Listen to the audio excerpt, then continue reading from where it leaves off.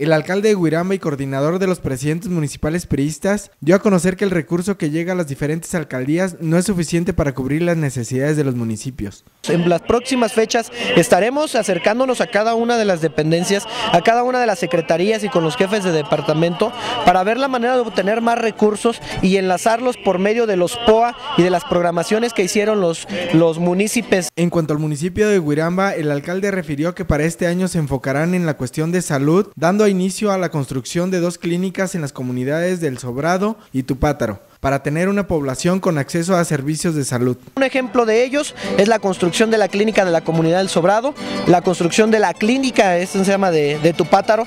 Nos enfocaremos a la salud más que nada porque tenemos que tener una población sana, una población eh, que de verdad tenga acceso a los servicios eh, públicos, a los servicios médicos. El alcalde refirió que en los próximos días se estará gestionando créditos para poder fortalecer a los productores de aguacate del municipio.